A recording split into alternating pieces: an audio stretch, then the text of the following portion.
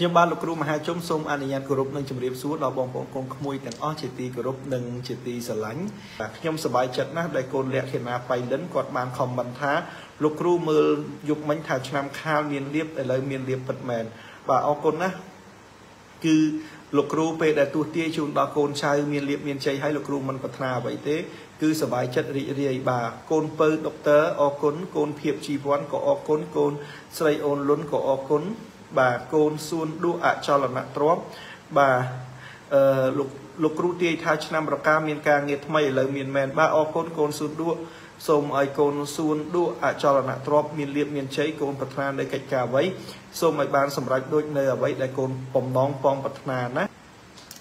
បាទលោកអ្នកនាងកញ្ញាជាទីគោរពខ្ញុំបាននឹងទូទាយនៅជោគជតារាសីរបស់អស់លោកអ្នកនៅអឺ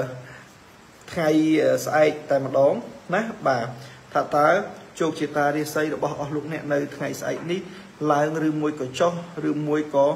អឺខ្ពស់ទៀបអីនោះខ្ញុំនឹងជំរាបជូនលោកអ្នកតែម្ដងបាទយើងផ្ដើមរាសីជាដំបូងនៅលើកូនចៅប្រុសស្រីដែលកើតនៅឆ្នាំជូតឆ្នាំជូតរាសីរបស់លោកអ្នកនៅថ្ងៃស្អែកនេះគឺឡើងខ្ពស់ត្រដែតលេខសំណាងគឺលេខ907ពណ៌សំណាងគឺពណ៌សបាទ ឆ្នាំជូតរាសីរបស់អស់លោកអ្នកនៅថ្ងៃស្អែកនេះគឺឡើងខ្ពស់ត្រដែតលេខសំណាង907ពណ៌សំណាងគឺពណ៌សលោកអ្នកសូមខមមិនលេខ907ហើយ share វីដេអូលោកគ្រូមហាជុំមួយដាក់លេខ907កូនចៅប្រុសស្រីទាំងអស់ណាដែលកើតនៅឆ្នាំជូតសូម comment លេខ907ហើយ share វីដេអូលោកគ្រូមហាជុំមួយដាក់លេខ907 ជោគជតារាសីរបស់អស់លោកអ្នកដែលកើតឆ្នាំជូតនៅថ្ងៃស្អែកនេះលោកអ្នកនឹងមានលៀបមានជ័យចូលមកនៅវេលាពេលព្រឹកម៉ោងប្រហែលជា9ព្រឹកណាអ្នកកើតឆ្នាំជូតម៉ោង9ព្រឹកនៅថ្ងៃស្អែកនេះនឹងមានលៀបមានជ័យចូលអញ្ចឹងសូមឲ្យបងប្អូនទាំងអស់ណាចាំទទួលនៅលៀបទទួលនៅជ័យទាំងអស់គ្នាសម្រាប់អ្នកដែលកើតនៅឆ្នាំជូតហើយបើចង់បានអឺលៀបចង់បានជ័យនោះសូម comment លេខ907ហើយក៏ share នៅវីដេអូ លេខ907ដូចគ្នា share ឲ្យដាក់លេខ907ណាបាទពណ៌សំណាងគឺពណ៌សណាបងប្អូនណាបាទអញ្ចឹងអ្នកដែលកើតនៅឆ្នាំជូតលេខរបស់លោកអ្នកឡើងខ្ពស់ត្រដែតរាល់កិច្ចការងាររកស៊ីប្រចាំថ្ងៃគឺទទួលបាននៅលទ្ធផល គឺផលល្អគួរជាទីគាប់ចិត្តហើយលោកអ្នកនឹងបានលៀបបានជ័យនៅកំឡុងពេលម៉ោង9ព្រឹកការងារលក់ដូររកស៊ីចំនួនជួញដូរ ការធ្វើអាជីវកម្មផ្សេងផ្សេងរបស់អស់លោកអ្នកគឺទទួលបានជោគជ័យការចរចាកិច្ចការងារឬមួយក៏អាជីវកម្មថ្មីក៏ទទួលបានលទ្ធផលគួរជាទីផ្លែផ្កាសម្រាប់អស់លោកអ្នកផងដែរលោកអ្នកដែលកើតនៅឆ្នាំជូតនៅថ្ងៃស្អែកនេះលោកអ្នកនឹងលក់ដូរដាច់លោកអ្នកនឹងនិយាយកិច្ចការងារទៅកាន់អ្នកដទៃប្រកបទៅដោយភាពជឿជាក់និងទំនុកចិត្ត អញ្ចឹងលោកអ្នកដែលកើតនៅឆ្នាំជូតនៅថ្ងៃស្អែកនេះសូមលោកអ្នកដេកសង្ឃឹមញញឹមទុកដើម្បីទទួលយកនៅលៀបដើម្បីទទួលយកមកនៅជ័យសម្រាប់អស់លោកអ្នកទាំងអស់គ្នា ចំណែកឯកិច្ចការងារប្រចាំថ្ងៃដូចជាការធ្វើដំណើរទៅទីជិតទីឆ្ងាយទៀតសោកនោះលោកអ្នកដែលកើតឆ្នាំជូតគឺមានសុខសុវត្ថិភាពទាំងទៅទាំងមកហើយដំណើររបស់អស់លោកអ្នកដែលអញ្ជើញទៅកាន់ទីជិតទីឆ្ងាយនោះក៏ជួបតែនឹងសេចក្តីសុខសេចក្តីចម្រើនសុខសុវត្ថិភាពទាំងទៅទាំងមក ហើយដំណើររបស់អស់លោកអ្នកនោះមិនត្រឹមតែសុខសុវត្ថិភាពដើរលេងកំសាន្តហើយដំណើរនោះក៏នឹងទទួលបាននៅមហាលាភដំណើរនោះក៏នឹងទទួលបាននៅមហាជ័យហេងហេងនៅក្នុងដួងជីវិតដួងជាតារាសីរបស់អស់លោកអ្នកផងដែរបើនិយាយអំពីអ្នកកើតឆ្នាំជូតអំពីសុខភាពឯណោះវិញគឺសុខភាពរបស់អស់លោកអ្នកគឺមានភាពល្អប្រសើរមិនឈឺមិនគ្រុនទេបើសិនជាលោកអ្នកឈឺតិចតួចល្មមអាចជាសះស្បើយបាន កម្លាំងរបស់លោកអ្នកនឹងរឹងមាំនឹងប្រកបកិច្ចការងារប្រកបការងារចិញ្ចឹមជីវិតដោយប្រការណាមួយនោះក៏នឹងទទួលបានជោគជ័យដោយមិនមានការឈឺគ្រុនឬមួយក៏ក្តៅរងាអីនោះទេចំណែកឯបញ្ហាស្នេហារបស់អស់លោកអ្នកដែលកើតនៅឆ្នាំជូតទៀតសោតលោកអ្នករមែងតែមានភាពផ្អែមល្ហែមស្រឡាញ់គ្នាអុកល្អឿនជាមួយគ្នាយល់ចិត្តគ្នាអ្នកដែលឆ្លោះគ្នាក៏ត្រូវរើគ្នាវិញអ្នកដែលមិនទាន់មានគូក៏ដល់គូផងដែរ អ្នកដែលមិនទាន់មានស្នេហាក៏អាចមានស្នេហាផងដែរអ្នកដែលសុំស្នេហ៍គេយូរគេមិនទាន់ឆ្លើយថ្ងៃស្អែកនេះគេក៏នឹងឆ្លើយប្រាប់ថាអ្វីដែលបងបានដាក់សំណើមកកាន់អូននោះអូនក៏ស្រឡាញ់បងដែរវាគឺជាថ្ងៃអភិនិហាវាគឺជាថ្ងៃមួយដែលសំខាន់សម្រាប់ជីវិតអស់លោកអ្នក កូនចៅដែលកើតឆ្នាំជូតលោកគ្រូសូមជូនពរឲ្យអស់លោកអ្នកជួបប្រទះទៅនឹងសេចក្តីសុខសេចក្តីចម្រើនប្រកបកិច្ចការងារអ្វីសូមឲ្យបានសម្រេចដោយសេចក្តីបំណងពងប្រាថ្នាចាប់ពីពេលនេះតរៀងទៅលោកអ្នកកើតឆ្នាំជូតពណ៌សំណាងពណ៌សលេខសំណាងលេខ907អញ្ចឹងលោកអ្នកប្រុសស្រីខមមិនលេខ907ដើម្បីយកសំណាងខមមិនលេខ907 ដើម្បីយកហេង share វីដេអូរបស់លោកគ្រូមហាជុំដាក់លេខ907ទៀតសោតនោះលោកអ្នកនឹងមានលៀបមានជ័យលោកអ្នកនឹងប្រាថ្នាលើកិច្ចការអីបានសំប្រកបដោយអ្វីដែលលោកអ្នកពងប្រាថ្នាអញ្ចឹងខ្ញុំបាទសូមបិទបញ្ចប់បាទលេខជោគជតារាសីសម្រាប់កូនចៅកើតឆ្នាំជូតត្រឹមតែប៉ុណ្ណឹងរាសីរបស់លោកអ្នកនៅថ្ងៃស្អែកនេះគឺពិតជាល្អมันធ្វើឲ្យអស់លោកអ្នកមានការខកបំណងនោះទេ បន្តបន្តភ្ជាប់សេចក្តីមកទៀតខ្ញុំបាទនឹងមើលនៅជោគជតារាសីសម្រាប់កូនចៅប្រុសស្រីដែលកើតនៅឆ្នាំឆ្លូវឯណោះវិញម្ដងលោកអ្នកដែលកើតនៅឆ្នាំឆ្លូវរាសីរបស់លោកអ្នកនៅថ្ងៃស្អែកនេះគឺអឺរាសីរបស់អស់លោកអ្នកនៅថ្ងៃស្អែកនេះគឺមធ្យមបាទលោកអ្នកដែលកើតឆ្នាំឆ្លូវរាសីរបស់អស់លោកអ្នកមធ្យមណានៅថ្ងៃស្អែកបាទអញ្ចឹងដើម្បីបានរាសីមធ្យមឲ្យលេខសំណាងគឺលេខ689ពណ៌សំណាងគឺពណ៌ទឹកប៊ិច លេខសំណាងលេខ689ពណ៌សំណាងពណ៌ទឹកប៊ិចណាលេខសំណាងលេខ689ពណ៌សំណាងគឺពណ៌ទឹកប៊ិចរាសីរបស់លោកអ្នកគឺមធ្យមអញ្ចឹងកូនចៅប្រុសស្រីដែលកើតនៅឆ្នាំឆ្លូវសូមខមមិនលេខសំណាងគឺលេខ689ហើយ share នៅវីដេអូលោកគ្រូមហាជុំមួយដាក់លេខ689 ជោគជតារាសីរបស់អស់លោកអ្នកដែលកើតនៅឆ្នាំឆ្លូវគឺមធ្យមកូនចៅប្រុសស្រីទាំងអស់នៅថ្ងៃស្អែកនេះកិច្ចការងារលក់ដូររកស៊ីការងារធ្វើការជាមន្ត្រីរាជការជាបុគ្គលិកឯកជនឬមួយក៏ការងារអ្វីអ្វីដែលលោកអ្នកកំពុងតែធ្វើគឺប្រព្រឹត្តទៅធម្មតាគឺมันមានលៀបมันមានជ័យចូលមកទេក៏ប៉ុន្តែការងារប្រកបទៅដោយរលូនលក់ដូរដាច់ធម្មតាហើយអ្វីអ្វីដែលជាកិច្ចការប្រចាំថ្ងៃគឺដំណើរប្រព្រឹត្តទៅដោយរលូនមិនមានអ្វីជាឧបសគ្គទេ ចំពោះបញ្ហាការធ្វើដំណើរកំសាន្តទៅកាន់ទីជិតទីឆ្ងាយរបស់អស់លោកអ្នកដែលកើតនៅឆ្នាំឆ្លូវនៅនៅថ្ងៃស្អែកនេះគឺមានសុខសុវត្ថិភាពទាំងទៅទាំងមកมันមានអ្វីដែលជាបញ្ហាឧបសគ្គធ្វើឲ្យរាំងស្ទះដល់ការដើរកំសាន្តរបស់អស់លោកអ្នកនោះទេអ្វីដែលសំខាន់មួយទៀតបញ្ហាសុខភាពអ្នកកើតឆ្នាំឆ្លូវគឺជាបញ្ហាមួយដែលលោកអ្នកគួរតែព្រួយបារម្ភបន្តិចពីព្រោះថាលេខឆ្នាំឆ្លូវនៅថ្ងៃស្អែកនេះលោកអ្នក នឹងមានជំងឺឈឺប្រចាំកាយដូច្នេះខ្ញុំសូមឲ្យលោកអ្នកដែលកើតនៅឆ្នាំឆ្លូវប្រយ័ត្នប្រយែងនៅសុខភាពរបស់អស់លោកអ្នកបន្តិចទៅបើមិនមានការប្រយ័ត្នប្រយែងនោះទេលោកអ្នកអាចនឹងធ្លាក់ខ្លួនឈឺជាក់ជាមិនខានអញ្ចឹងបើសិនជាយើងមើលទៅមិនស្រួលខ្លួនហើយមើលទៅពិបាកហើយយើងអាចប្រញាប់ទៅកាន់មន្ទីរពេទ្យដើម្បីទិញថ្នាំញ៉ាំឬមួយក៏កុសខ្យល់ឬមួយក៏ញ៉ាំទឹកក្តៅឬមួយក៏យើង take care ថែរក្សាខ្លួនយើងឲ្យបានច្រើនបន្តិចណាសម្រាប់អ្នកដែលកើតឆ្នាំឆ្លូវ ការអឺសេចក្តីស្នេហាវិញសម្រាប់លោកអ្នកដែលកើតឆ្នាំឆ្លូវគឺมันមានបញ្ហាអីដែលជាការរកម្មរកុសឬមួយក៏ឈ្លោះទាស់តែងគ្នាទេ គឺយើងស្រឡាញ់គ្នាជារៀងដរាបជារៀងរហូតណាយល់ចិត្តគ្នាស្រឡាញ់គ្នាផ្អែមល្ហែមជាមួយគ្នាបើទោះបីជាពេលខ្លះយើងមានការលើសលួសពាក្យសម្ដីណាមួយដែលមិនសមរម្យក៏យើងនៅតែស្រឡាញ់គ្នានៅតែផ្អែមល្ហែមជាមួយគ្នាផងដែរ អញ្ចឹងអ្នកដែលឆ្លោះគ្នាក៏អាចត្រូវគ្នាវិញអ្នកដែលស្រឡាញ់គ្នាកាន់តែស្រឡាញ់រិទ្ធទ្វេ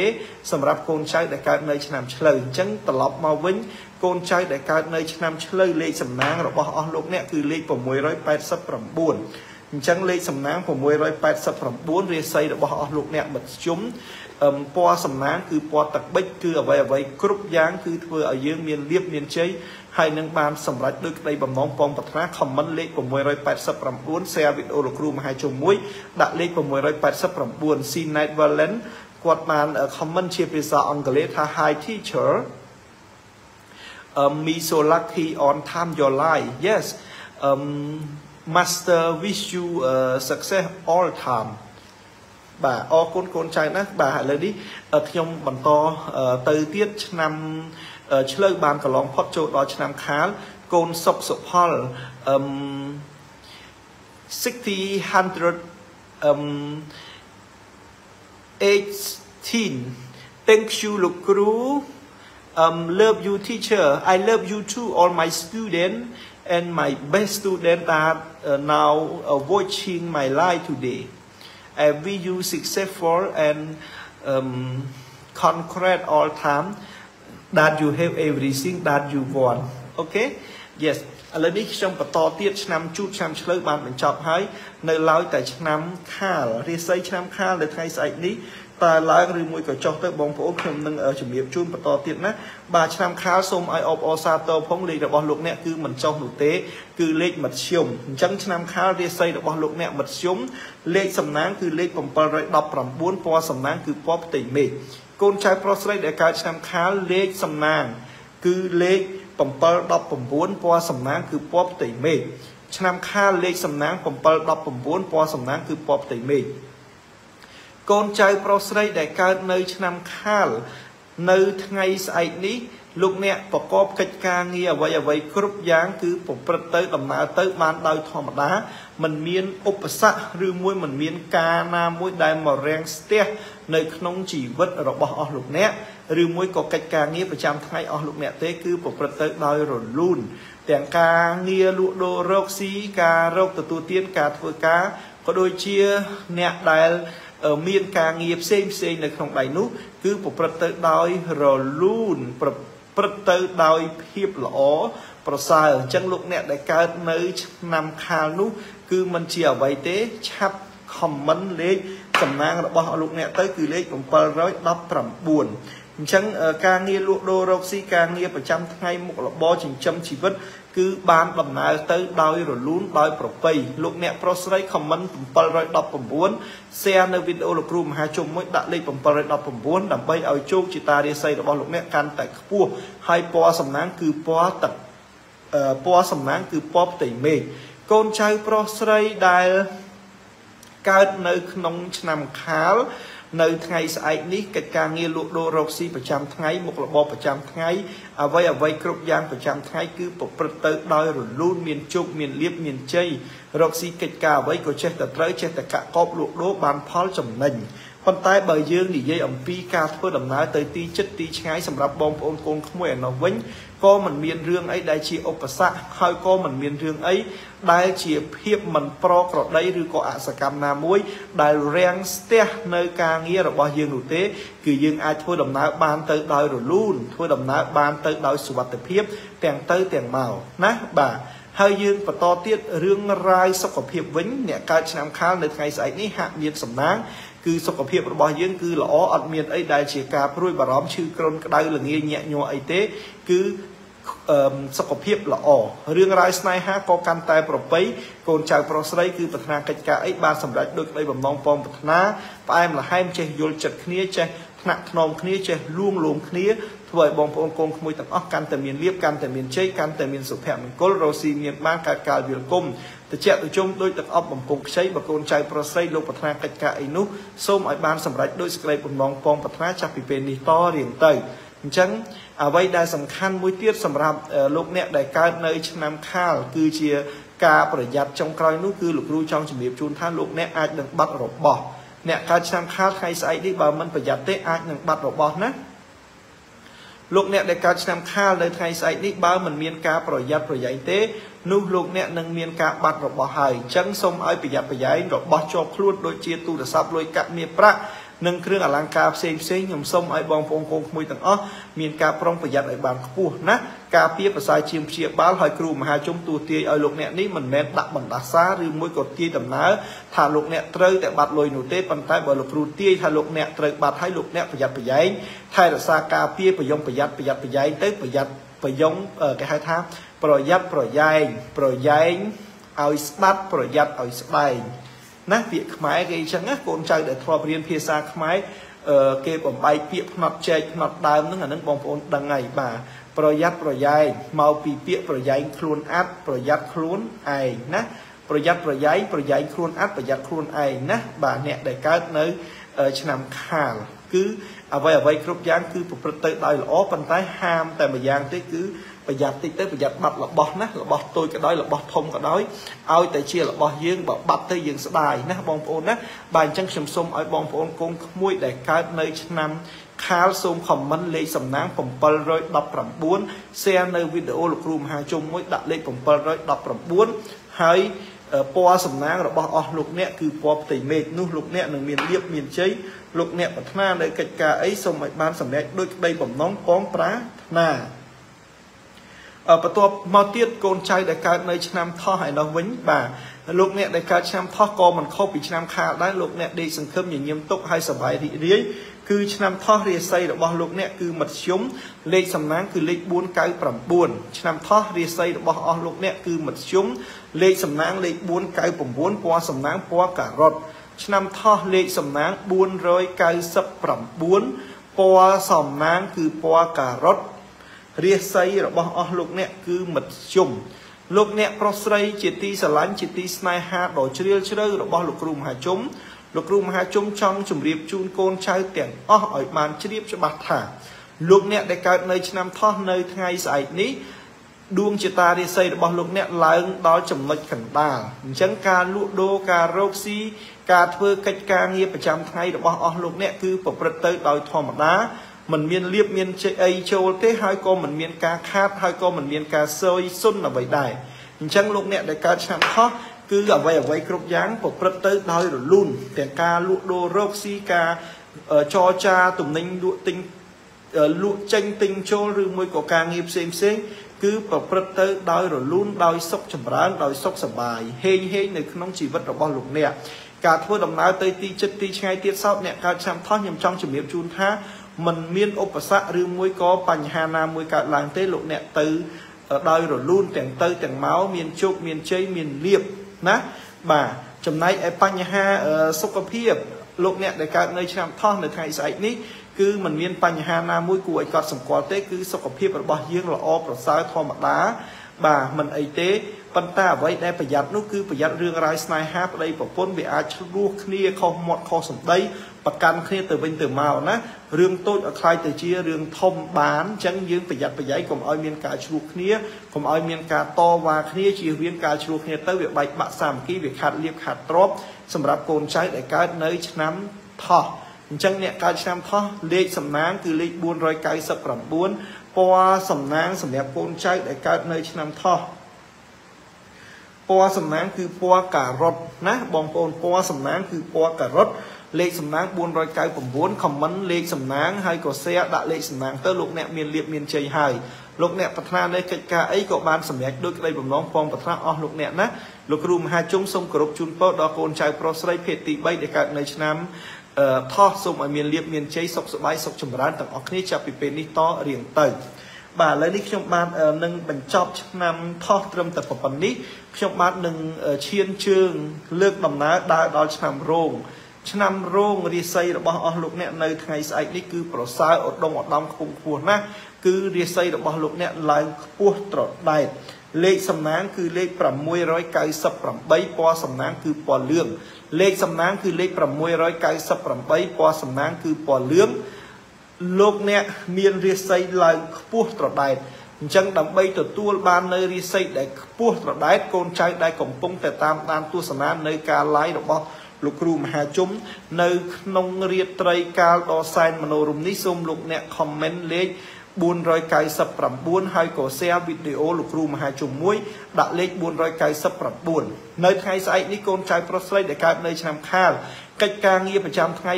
ដែលកើតនៅឆ្នាំរោងសំទោសណាមិនថោះឥឡូវដល់រោងហើយលោកអ្នកដែលកើតនៅឆ្នាំរោងកិច្ចការងារប្រចាំថ្ងៃរបស់អស់លោកអ្នកគឺប្រព្រឹត្តទៅដោយរលូនมันមានឧបសគ្គណាមួយរាំងស្ទះនៅដំណើរកិច្ចការងារលក់ដូររកស៊ីប្រចាំថ្ងៃរបស់អស់លោកអ្នកនោះទេចំណែកឯមុខចំនួនជួញដូរដែលស្ថិតនៅក្នុងដៃមានការលក់ដូរលក់បាយលក់គុយទាវលក់កាហ្វេលក់គ្រឿងអគ្គិសនីលក់គ្រឿងភេសជ្ជៈលក់អីវ៉ាន់ចាប់ភួយជាដើមនោះ ក៏នឹងលក់ដាច់មានលៀបមានជ័យប្រាថ្នាអីក៏បានសម្រេចដូចក្តីបំណងពងប្រាថ្នាហេងហេងនៅក្នុងជីវិតបើយើងក៏លេខទៅមើលការធ្វើដំណើរទៅទីចិត្តទីឆ្ងាយវិញកូនចៅដែលកើតឆ្នាំរោងសូមឲ្យអស់លោកអ្នកអញ្ជើញចោះលោកអ្នកអញ្ជើញយប់ក៏បានអញ្ជើញថ្ងៃក៏បានអញ្ជើញរសៀលក៏បានអញ្ជើញល្ងាចក៏បានដែរស្រេចទៅលើអារម្មណ៍ស្រេចទៅលើការគិតរបស់អស់លោកអ្នកគឺมันមានឧបសគ្គណាកើតឡើងហើយក៏มันមានឧបសគ្គណាមកយាយីសម្រាប់នៅរឿងរ៉ាវការធ្វើដំណើររបស់អស់លោកអ្នកនោះទេ ចំណែកឯសុខភាពរបស់លោកអ្នកដែលកើតនៅឆ្នាំរោងទៀតសោតនោះក៏មានសុខភាពល្អមាំទាំអាចដើរអាចហក់អាចលោតបានណាបាទมันមានអីសភាពទ្រុឌទ្រោមនោះទេហើយបើយើងក៏លេខទៅមើលរឿងរ៉ាវស្នេហាឯនោះវិញគឺលោកអ្នកដែលកើតឆ្នាំរោងកាន់តែមានភាពយល់ចិត្តគ្នាកាន់តែស្រឡាញ់គ្នាកាន់តែយោគយល់ជាមួយគ្នាកាន់តែរាប់អានគ្នាស្រឡាញ់គ្នាលើសដើមដូចក្រមុំដូចកំឡោះ អញ្ចឹងកូនចៅដែលកើតឆ្នាំរោងសូមឲ្យលោកអ្នកសប្បាយចិត្តរីករាយទទួលយកនៅមហាលៀបមហាជ័យសុខសប្បាយសុខចម្រើនសម្រាប់ជីវិតរបស់អស់លោកអ្នក ហើយលោកអ្នកខមមិនលេខសំណាង499ហើយ share នៅវីដេអូលោកគ្រូមហាជុំមួយដាក់លេខ499លោកគ្រូមហាជុំសូមគោរពជូនពរដល់កូនចៅប្រុសស្រីដែលកើតនៅឆ្នាំរោងក៏ដូចជាឆ្នាំដទៃទៀតជួយឆ្លើយខាលថោរោមសាញ់មីមេវរកាចកលនោះសូមឲ្យអស់លោកអ្នកទទួលបាននៅលៀបទទួលបាននៅជ័យប្រាថ្នានៅកិច្ចការអ្វីសូមឲ្យបានសម្រេចដូចនៃបំណងផងប្រាថ្នារបស់លោកអ្នកអញ្ចឹងសូមឲ្យលោកអ្នកទាំងអស់ណាកុំភ្លេច comment លេខ499ដែលជាលេខនាំសំណាង បាទសុំទោសហើយបាទសូមឲ្យអស់លោកអ្នកកុំភ្លេច comment លេខ698ដែលជាលេខនាំលៀបដែលជាលេខនាំសំណាងរបស់អស់លោកអ្នកដែលកើតនៅឆ្នាំរោងហើយពណ៌សំណាងរបស់លោកអ្នកទៀតស្អែកកុំភ្លេចពាក់អាវពណ៌លឿងណាបាទអ្នកកើតឆ្នាំរោងស្អែកកុំភ្លេចពាក់អាវពណ៌លឿងអឺ your color yellow all my student បាទ your color your color yellow ណាបាទ your color yellow អញ្ចឹង all my student លោកអ្នកល្អមែនទែននៅថ្ងៃស្អែកនេះបាទរាសីឡើងខ្ពស់ហើយអ្វីអ្វីគ្រប់យ៉ាងក៏ល្អក៏ជោគជ័យគ្រប់យ៉ាងសម្រាប់អស់លោកអ្នកផងដែរណាបាទអញ្ចឹងឆ្នាំរោងគឺមានលៀបមានជ័យហើយក៏ទទួលបាននៅសម្ប្រកបដោយអ្វីដែលបងប្រាថ្នាដែរបាទឥឡូវនេះខ្ញុំបិទបញ្ចប់នៅជោគជាតារាសីដែលលោកអ្នកកើតនៅឆ្នាំរោងខ្ញុំនឹងជំរាបជូននៅដួងជាតារាសី សម្រាប់កូនចៅប្រុសស្រីដែលកើតនៅឆ្នាំម្សាញ់វិញម្ដងឆ្នាំម្សាញ់រាសីរបស់អស់លោកអ្នកនៅថ្ងៃស្អែកនេះគឺមិនចុះទេគឺមធ្យមឆ្នាំម្សាញ់រាសីមធ្យមលេខសំណាង158ពណ៌សំណាងគឺពណ៌ព្រីងទុំលេខសំណាងគឺលេខ100បាទលេខសំណាងគឺលេខ158ពណ៌សំណាងគឺពណ៌ព្រីងទុំរាសីមធ្យម កូនចៅប្រុសស្រីដែលកើតនៅឆ្នាំម្សាញ់រាសីរបស់អស់លោកអ្នកនៅថ្ងៃស្អែកនេះ គឺមធ្យមលេខសំណាងគឺលេខ158ពណ៌សំណាងគឺពណ៌ព្រីងទុំរិស័យមធ្យមអញ្ចឹងកូនចៅប្រុសស្រីដែលកើតនៅឆ្នាំម្សាញ់ឆាប់ខមមិនលេខ158ដែលជាលេខសំណាងហើយយល់ល្អ share នៅវីដេអូលោកគ្រូមហាជុំមួយទៀតដាក់លេខ158មួយទៀត នោះលោកអ្នកនឹងមានលៀបមានជ័យមានជោគមានសេចក្តីសុខមានសេចក្តីចម្រើននៅក្នុងជីវិតណាហើយពណ៌សំណាងពណ៌ព្រីងទុំអញ្ចឹងនៅថ្ងៃស្អែកនេះកិច្ចការងារលក់ដូររកស៊ីប្រចាំថ្ងៃរបស់អស់លោកអ្នកគឺប្រព្រឹត្តទៅដោយល្អប្រព្រឹត្តទៅដោយរលូនមិនមានការបង់ខាតអីទេលក់ដាច់ធម្មតាហើយអ្នកដែលធ្វើកិច្ចការងារអីក៏សម្រាប់នៅកិច្ចការបានចវាយនេះលោកកោតសរសើរលោកឲ្យលៀបឲ្យជ័យ អញ្ចឹងការងារលក់ដូររកស៊ីចំនួនជួញដូរអ្វីអ្វីគ្រប់យ៉ាងសម្រាប់អស់លោកអ្នកដែលកើតនៅឆ្នាំម្សាញ់នេះគឺប្រព្រឹត្តទៅដោយល្អណាស់มันមានការបង់ខាតឬមួយក៏មានការបាត់បង់អ្វីនោះទេចំណែកឯយើងក៏លេខទៅមើលការធ្វើដំណើររបស់អស់លោកអ្នកវិញអ្នកដែលកើតឆ្នាំម្សាញ់ណាខ្ញុំសូមឲ្យកូនចៅដែលកើតឆ្នាំម្សាញ់នៅថ្ងៃស្អែកនេះមានការប្រុងប្រយ័ត្នបន្តិចណាចំពោះការធ្វើដំណើរនៅលើដងផ្លូវ ការធ្វើដំណើរនៅលើដងផ្លូវសម្រាប់កូនចៅប្រុសស្រីដែលកើតនៅឆ្នាំម្សាញ់លោកគ្រូមហាជុំផ្ដាំឲ្យផ្ដាំទៀតសូមប្រយ័ត្នប្រយែងនៅក្នុងការធ្វើដំណើរទៅកាន់ទីចិត្តទីឆ្ងាយណាប្រយ័ត្នឲ្យមែនតែនយល់ល្អពេលរាត្រីណាកុំអាចចេញដំណើរអីណាចាំព្រះអាទិត្យរះឲ្យពេញពន្លឺសិនចាំយើងធ្វើដំណើរទៅចោះឲ្យបើសិនជាមេឃកំពុងតែងងឹតយើងនៅតែទៅទៀតលោកគ្រូសុំមិននិយាយអីទេប៉ុន្តែកុំគួរទៅអីអញ្ចឹងការធ្វើដំណើរវាមានបញ្ហារាំងស្ទះណា អញ្ចឹងយល់ល្អយើងចេញដំណើរកុំចេញពេលយប់យើងចេញពេលភ្លឺទៅព្រះអាទិត្យមានពេញពន្លឺទៅណាបាទចំណែកឯបញ្ហាសុខភាពអ្នកកើតឆ្នាំម្សាញ់គឺមិនអីទេ គឺសុខភាពល្អធម្មតាអត់មានអីទេណាបាទសុខភាពល្អហើយកាយសម្បទាមមមួនអត់មានអីឈឺគ្រុនទេរឿងរ៉ាវស្នេហាក៏មិនមានបញ្ហាមួយដែលថាអន់ចិត្តអន់ថ្លើមអីទេគឺស្រឡាញ់គ្នា ហហើយយល់ចិត្តគ្នាណាអ្នកដែលមិនទាន់មានសង្សារក៏រកសង្សារឃើញអ្នកដែលសង្សារកំពុងតែឆ្លោះគ្នាបែកចិត្តអីក៏អាចត្រូវរើគ្នាវិញស្រឡាញ់គ្នាវិញហើយក៏ល្អក់ល្អឿនជាមួយគ្នាជារៀងរហូតតរៀងទៅលោកគ្រូមហាជុំជូនពរណាបាទកូនចៅកើតឆ្នាំម្សាញ់សូមឲ្យបានជោគបានជ័យបានសេរីគ្រប់យ៉ាងគ្រប់ប្រការទាំងអស់គ្នាខ្ញុំបាទសូមបិទបញ្ចប់រឿងជោគជាតារាសីសម្រាប់ថ្ងៃអាទិត្យនៅថ្ងៃស្អែកនេះត្រឹមតែប៉ុណ្នេះយើងនឹងបន្តចូលមកដល់ឆ្នាំមមី ឆ្នាំមមីបាទឆ្នាំមមីរាសីរបស់អស់លោកអ្នកនៅថ្ងៃស្អែកនេះក៏មិនឡើងក៏មិនចុះដែរគឺរាសីមធ្យមដូចគ្នាលោកអ្នកដែលកើតឆ្នាំមមីរាសីរបស់អស់លោកអ្នកគឺមធ្យមពណ៌សំណាងគឺពណ៌បៃតងលេខសំណាងគឺលេខ856លេខសំណាងសម្រាប់អ្នកកើតឆ្នាំមមីគឺលេខ856លេខសំណាងសម្រាប់កូនចៅដែលកើតឆ្នាំមមីគឺលេខ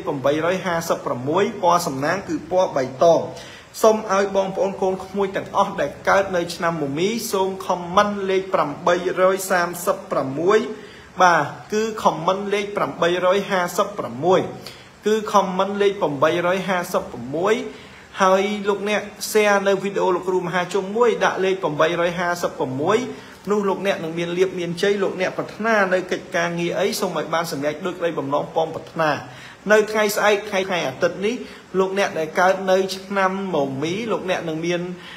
ភាពល្អប្រសើរជុំវិញអាជីវកម្មលក់ដូររកស៊ីរបស់អស់លោកអ្នកណាបាទលក់ដាច់ធម្មតាអត់មានបង្ខាត់អីទេហើយក៏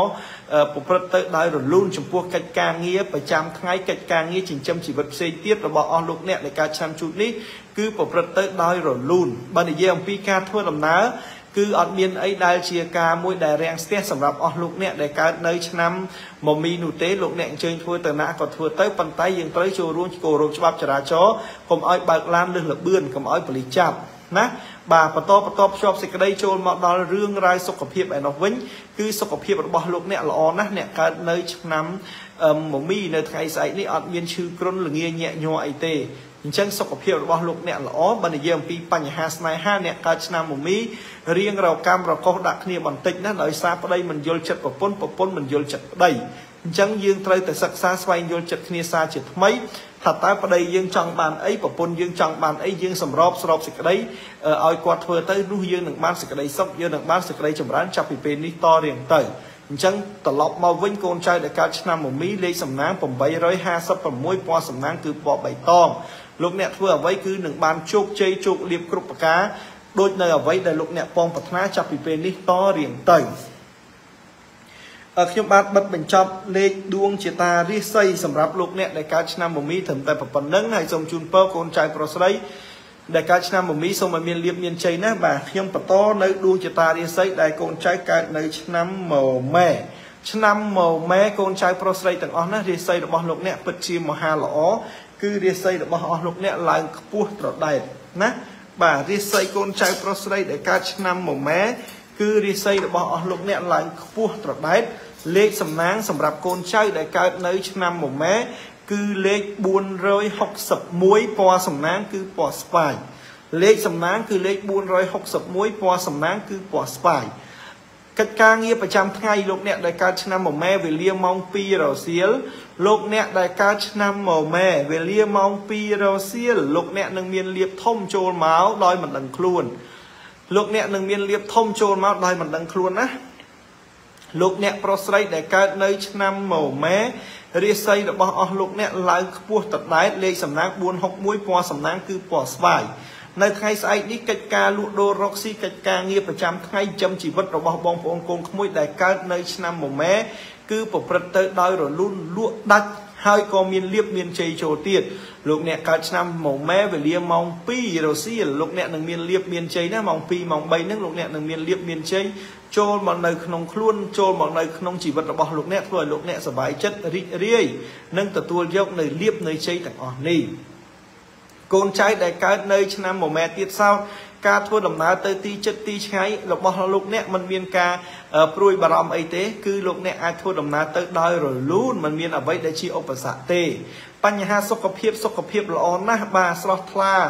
រីករាយញញឹមរាក់ទាក់ទៅកាន់កូនចៅកូនសិស្សកូនគុណទៅកាន់ភ្ញៀវពលឺទៅកាន់អ្វីអ្វីទាំងអស់ហ្នឹងគឺល្អជោគជ័យណាសម្រាប់រឿងរ៉ាវស្នេហា ហើយនឹងសុខភាពអត់មានអីទេគឺល្អជោគជ័យគ្រប់យ៉ាងសម្រាប់កូនចៅដែលកើតនៅឆ្នាំមមែអញ្ចឹងត្រឡប់មកវិញកូនចៅប្រុសស្រីដែលកើតឆ្នាំមវែលេខសំណាង461ពណ៌សំណាងគឺពណ៌ស្វាយលោកអ្នកនឹងមានលៀបមានជ័យមានជោគប្រាថ្នានៅកិច្ចការអ្វីសូមឲ្យបានសម្រេចដោយសេចក្តីបំណងពងប្រាថ្នាចាប់ពីពេលនេះតរៀងទៅលោកគ្រូសូមជូនពរដល់កូនចៅដែលកើតនៅឆ្នាំមមែសូមឲ្យមានលៀបមានជ័យប្រាថ្នានៅកិច្ចការអីសូមឲ្យបានសម្រេចដោយសេចក្តីបំណងពងប្រាថ្នា បាទឆ្នាំមមែបានមើលបញ្ចប់ហើយនៅឡើយតែឆ្នាំបន្តទៀតណាវើកប្រកាចកុលនៅឆ្នាំវើកឆ្នាំប្រកាឆ្នាំចឆ្នាំកុលណាបងប្អូនណាបាទអញ្ចឹងចាំទីសិនកុំអាលបង្ខំទៅណាលោកគ្រូនឹងមើលជូនលោកអ្នកនៅពេលឥឡូវនេះហើយណាឆ្នាំវើកបាទ អញ្ចឹងលោកអ្នកដែលកើតនៅឆ្នាំវោកដួងជាតារាសីរបស់អស់លោកអ្នកនៅថ្ងៃស្អែកនេះគឺមធ្យមអ្នកកើតឆ្នាំវោករាសីរបស់អស់លោកអ្នកនៅថ្ងៃស្អែកនេះគឺមធ្យមលោកអ្នកធ្វើការងារអ្វីអ្វីគ្រប់យ៉ាងគឺល្អណាស់បាទដើម្បីចង់ឲ្យបានការងារល្អចង់ឲ្យបានអ្វីដែលប្រព្រឹត្តទៅល្អសូមឲ្យលោកអ្នកដែលកើតនៅឆ្នាំរវោកសូមឲ្យលោកអ្នកដែលកើតនៅឆ្នាំវោកខមមិនលេខ197 លោកអ្នកដែលកើតឆ្នាំវោកណាសូមខមមិនលេខ197ពណ៌សំណាងគឺពណ៌ស្លាទុំរាសីមធ្យមបាទលោកអ្នកដែលកើតនៅឆ្នាំវោករាសីរបស់អស់លោកអ្នកគឺមធ្យមលេខសំណាង197ពណ៌សំណាងគឺពណ៌ស្លាទុំលោកអ្នកដែលកើតនៅឆ្នាំវោកនៅថ្ងៃស្អែកនេះគឺមានលៀបមានជ័យណាបាទប្រាថ្នានៅកិច្ចការអីបានសម្រេចដោយក្តីបំណងពងប្រាថ្នាហេងហេងសម្រាប់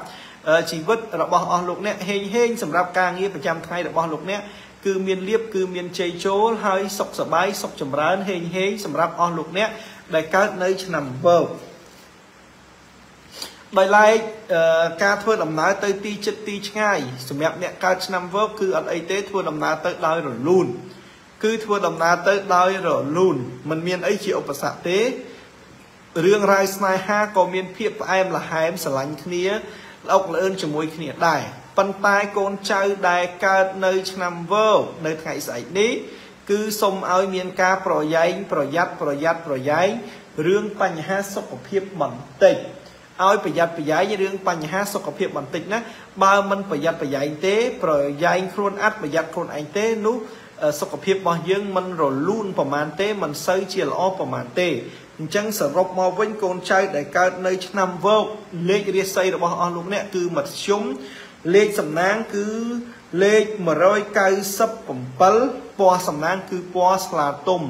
លោកអ្នកធ្វើអ្វីអ្វីគឺបានសម្រេចជោគជ័យច្រើនយ៉ាងប៉ុន្តែតមប្រយ័ត្នប្រយែងរឿងបញ្ហាសុខភាពណាបាទអញ្ចឹងខ្ញុំសូមបញ្ចប់ឆ្នាំរកាត្រឹមតែប៉ុណ្្នឹងខ្ញុំសូមបន្តចូលមកដល់ឆ្នាំច បាទ197អត់ទេសុំទោសបាទតាមិញនេះឆ្នាំវោកឥឡូវចូលដល់ឆ្នាំរកាណាបាទលេខដួងជាតារាសីកូនចៅប្រុសស្រីដែលកើតនៅក្នុងឆ្នាំរកាលេខសំណាងរបស់អស់លោកអ្នកគឺលេខ719ពណ៌សំណាងគឺពណ៌ទឹកក្រូចរាសីរបស់អស់លោកអ្នកគឺខ្ពស់ត្រដែតកូនសួនដួកកូនសួនដួកអចលនៈទ្របទៅណាហើយបាទ ណារាសីកូនថ្ងៃនេះគឺឡើងខ្ពស់ត្រដែតណាកូនសួនដួកបាទអញ្ចឹងលោកអ្នកប្រុសស្រីដែលកើតនៅឆ្នាំរកា ឆ្នាំរកាលេខសំណាងគឺលេខ719លេខសំណាងលោកអ្នកដែលកើតឆ្នាំរកាគឺលេខ719ពណ៌សំណាងគឺពណ៌ទឹកក្រូចរាសីរបស់លោកអ្នកឡើងខ្ពស់ត្រដែត លោកអ្នកដែលកើតនៅឆ្នាំរកាណាបាទរាសីរបស់លោកអ្នកឡើងខ្ពស់ត្រដែតលេខសំណាងគឺ719ពណ៌សំណាងគឺពណ៌ទឹកក្រូចលោកអ្នកប្រាថ្នានៅកិច្ចការអីលោកអ្នកបំពេញកិច្ចការងារអ្វីលោកអ្នកនឹងលក់ដូរដាច់រកស៊ីមានបាន ជាពិសេសនោះមុខចំនួនជួញដូរដែលលោកអ្នកខំតន្ទឹងមើលផ្លូវជាយូរមកហើយនោះ ក៏នឹងទទួលបានលទ្ធផលគួរជាទីគាប់ចិត្តសម្រាប់អស់លោកអ្នកនៅថ្ងៃស្អែកការធ្វើដំណើរទៅទីចិត្តទីឆ្ងាយជួបតែនឹងសុខសមត្ថភាពសំណាងល្អមិនមានអីដែលជាផលលមាស់មិនមានអីដែលជាឧបសគ្គដល់ការរៀបរៀងនៃការធ្វើដំណើររបស់អស់លោកអ្នកនោះទេចំណែកឯសុខភាពល្អណាស់អត់មានអីដែលជាបញ្ហាចោតទេបាទហើយរឿងរ៉ាវស្នេហាមិនបាច់និយាយទេគឺរឹតតែស្រឡាញ់គ្នារឹតតែផ្អែមល្ហែមជាមួយគ្នារឹតតែ ជោគជ័យរឹតតែផ្អែមល្ហែមអ្នកមិនទាន់មានគូអាចត្រូវគ្នាវិញអ្នកដែលឆ្លោះគ្នាក៏ត្រូវគ្នាវិញអ្នកដែលសុំស្នេហ៍គេគេមិនព្រមក៏ទទួលបានចម្លើយនៃសេចក្តីស្នេហារបស់គេផងដែរអញ្ចឹងខ្ញុំសូមបិទបញ្ចប់នៅដួងជាតារាសីកូនចៅប្រុសស្រីកើតឆ្នាំរកាត្រឹមតែប៉ុណ្នេះសូមឲ្យលោកអ្នកទទួលយកដោយក្តីអាណិតក្តីស្រឡាញ់ហើយមានលៀបមានជ័យលេខសំណាង719ពណ៌សំណាងគឺពណ៌អឹមទឹកក្រូច ឥឡូវនេះខ្ញុំសូមបន្តដល់កូនចៅប្រុសស្រីដែលកើតនៅឆ្នាំចវិញម្ដង ឆ្នាំចរាសីរបស់អស់លោកអ្នកគឺមធ្យម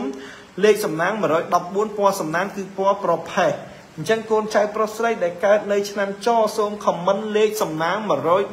114បាទលេខសំណាង114ពណ៌សំណាងគឺពណ៌ប្រផេះអញ្ចឹងកូនចៅដែលកើតនៅឆ្នាំចរាសីរបស់អស់លោកអ្នកគឺមធ្យមនៅថ្ងៃស្អែកនេះណាបាទ រាសីមធ្យមលេខសំណាងគឺលេខ114ពណ៌សំណាងគឺពណ៌ប្រផេះអញ្ចឹងលោកអ្នកបំពេញកិច្ចការងារអីលោកអ្នកប្រកបនៅការងារអីនៅថ្ងៃស្អែកនេះគឺប្រព្រឹត្តទៅដោយរលូនមិនមានឧបសគ្គណាមករាំងស្ទះលោកអ្នកនោះទេរឿងរ៉ាវការធ្វើដំណើរទៅទីចិត្តទីឆ្ងាយរៀងប្រយ័ត្នប្រយែងបន្តិចណាអ្នកកាច់សាំចោនៅថ្ងៃស្អែកនេះគឺខ្ញុំសូមឲ្យមានការប្រយ័ត្នប្រយែងបន្តិចគីឡូវាមានបញ្ហាណាមួយកើតឡើងជាយថាហេតុ អញ្ចឹងអ្នកកើតសាមចោប្រយ័ត្នប្រយែងធ្វើដំណើរណាទាំងជិះឡានជិះម៉ូតូជិះស៊ីក្លូជិះកង់ប្រយ័ត្នប្រយែងទាំងអស់គ្នាបន្ទាប់មកទៀតសុខភាពរបស់លោកអ្នកកើតឆ្នាំចោអត់មានអីដែលជាកត់សម្គាល់ទេគឺសុខភាពល្អអាចដំណើរប្រព្រឹត្តទៅដោយរលូនបាទចំណែករឿងរ៉ាវស្នេហាមិនអីទេណាផ្អែមរលួយដូចទឹកអប់បំពង់ខ្ចីអញ្ចឹងផ្អែមដូចទឹកខ្មុំខែចែកអញ្ចឹងអត់អីទេស្រឡាញ់គ្នាហើយក៏ល្អក់លឿនជាមួយគ្នាជូនពរកូនចៅប្រុសស្រីឲ្យឆាប់មានបុត្រឆាប់មានធីតា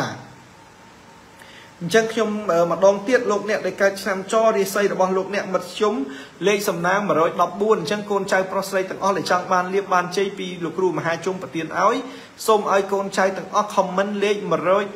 114គឺជាលេខជ័យគឺជាលេខសំណាង គឺជាលេខហេងរបស់អស់លោកអ្នកដែលកើតនៅឆ្នាំច